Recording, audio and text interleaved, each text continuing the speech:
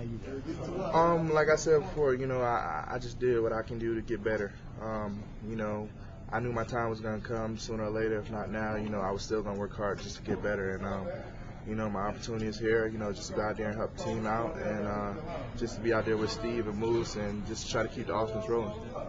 I mean, how hard has it been? Uh, I guess a test of your patience. Is it? It's got to be tough, you've been able to stick with it. Yeah, I mean, you know, of course you want to go out there and play, and uh, I, I just really didn't get my full opportunity. But um, like I said, you know, I just kept working hard, and uh, you know, the coaches noticed it, you know, the players, and um, I just try to do what I can do to get better and help the team out, and that's all I can do.